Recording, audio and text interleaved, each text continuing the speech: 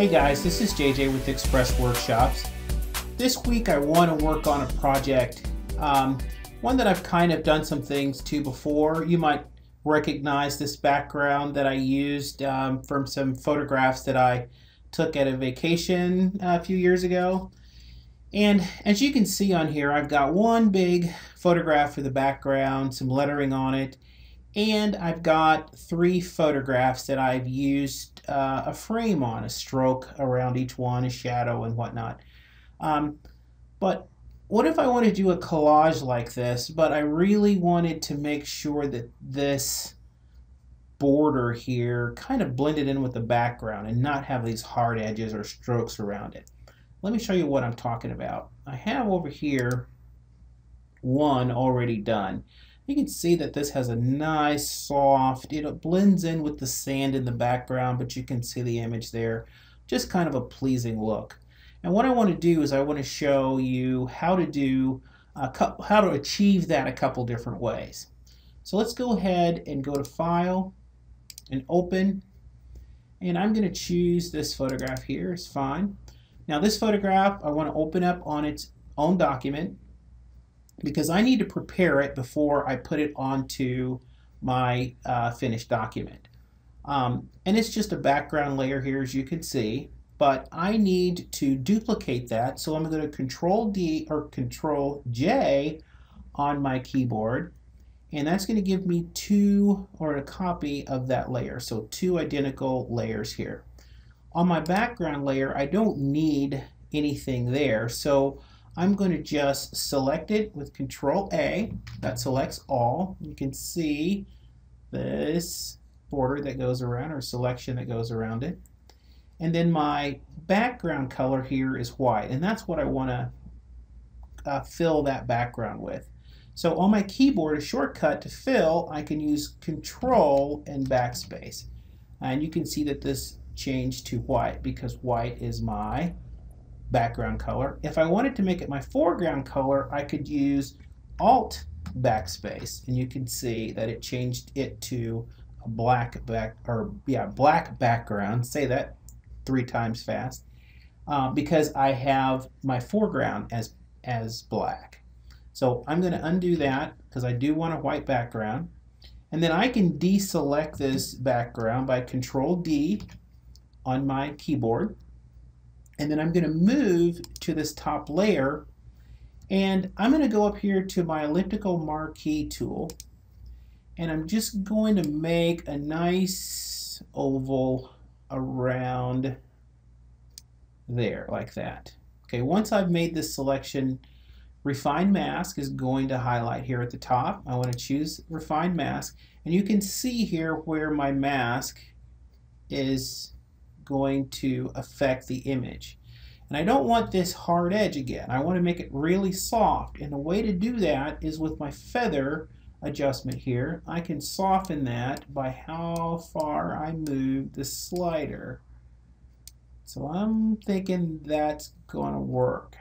Now, instead of just choosing OK and going back out, I want to do one more thing. On this output uh, section here, I want to output this to a layer mask. And that's going to give me some control, and I'll show you how that works a little bit later. But for now, I'll go ahead and just choose OK. And you can see that now it has created this mask, this layer mask, with that feather edge around there. Now, what I've got to do is I've got to get this image over to my collage. And an easy way to do that and also keep this layer mask with this layer is to right click on that layer and choose duplicate layer. When this dialog box comes in, you can name it whatever you wanted, but I'm just going to leave it whatever it says here because I really don't care.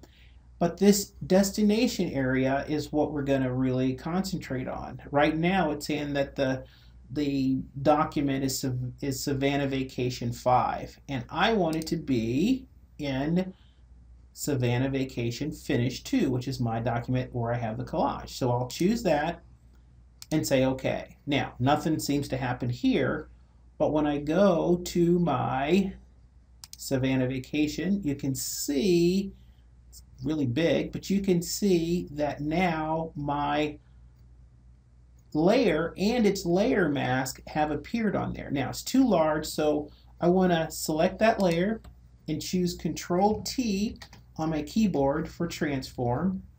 And I'm going to make that smaller. I'm going to move it a little bit around over here like that and maybe transform it a little more there move it around there and say OK so now that's one way of getting that nice soft edge around there using a, the elliptical uh, selection tool now let's do another way of doing it let's go to file and open and I'm going to choose another photograph. Let's pick this one. And again, we want to do the same kind of thing we did before. We want to duplicate the layer, Control J, and then on that bottom layer, I want to go ahead and select that, Control A. That selects everything. And then again, my background color here is white, so Control Backspace will fill that with white, and Control D will deselect it. And then on this layer this time, I'm going to do something a little different. I want to do a more freehand um, selection. You know, before when I used the elliptical tool, it made a nice, clean, uh, even line around there. And this time I want to make it a little more organic. So what I have to do, I select that top layer, go down here to my add layer mask, and I click on that and you can see that I have a layer mask on there. Now, with my brush tool, I'm going to select my brush tool. It's a pretty good sized brush tool there. And I'm going to use my mouse this time just because a lot of times in my tutorials I'm using my Cintiq tablet and it's, you know, it's, it, it, it really is an advantage. But this time I'm just going to use what maybe a lot of you guys have. It's just a mouse. Um, I'm going to make sure that I have a soft brush there. So that's fine. And with black in my brush and painting on a white mask, I'm just going to go around and just kind of paint that out, the background. When I paint black on a white mask, it's basically like erasing. And you can see I can just go around that and just kind of make whatever kind of shape that I want. All right, that looks pretty good. Now, one of the things that I find when I do this type of technique is that you can see here in this top part right here, I missed a little area. And I don't know that I've missed that area until I get it to my other um, document. And then I go, man, I, I, I missed that document. Now, what I'm going to do, we can easily fix it, but I want to be able to see that in this document. And a trick for doing that, if you hold Alt on the keyboard and you click on your layer mask, it will show you this mask, what it actually looks like. This basically enlarged on here. And you can see that this area right here, I missed an area. Um, and so that little corner is going to show up. Where it's white, it's actually showing the photograph underneath. And where it's black, it's hiding the photograph. So you can see that this area here is going to show that. Now, I'm going to go ahead and alt click back on this and I'm just going to let that be because I want to show you the value of going in and actually taking the layer mask with your um, with your layer. So again, I'm going to go ahead and right click on that layer, duplicate layer, don't care what it's called. Actually, this time, you know what, just for the sake of making it clean, I'll make it copy to. And remember, we need to go to Savannah Vacation Finish 2 and say OK. Then I'll go ahead and open that document and you can see it's right there in the middle. Again, it's pretty large.